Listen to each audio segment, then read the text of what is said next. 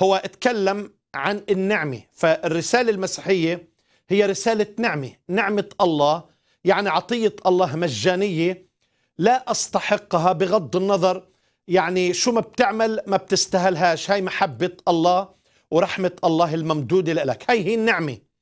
آه، فهي الرسالة رسالة المسيح هي رسالة النعمة بغض النظر بغض النظر بسبب خطاياك. لكن أن أصبح ديان للناس هذا ضد مبادئ وتعليم المسيح. المسيح طبعا هو الديان.